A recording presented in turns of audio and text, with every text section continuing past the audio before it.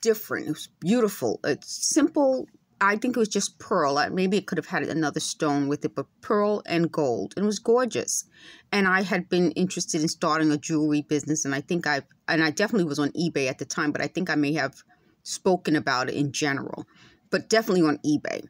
And I was like, that's something so unique. So I kept kind of looking for something similar.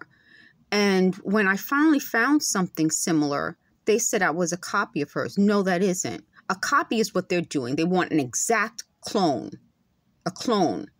I like the idea of a pearl and gold ring. That's been around for ages.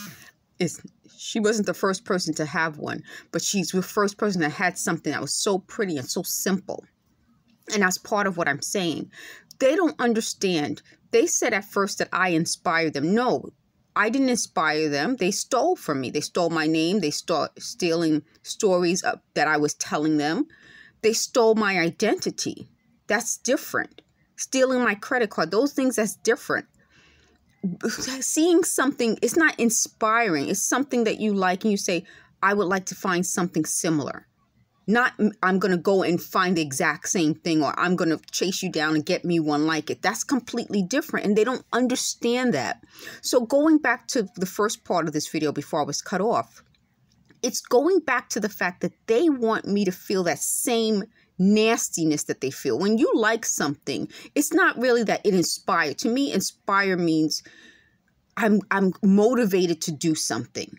So I wasn't motivated to get the same ring. I was motivated to find something similar since I want to go into this field. And that's part of what I'm saying. It's not a, like a, a it's not the, the negative, which is jealousy and envy. It's the positive that's really pretty. That's something different and unique.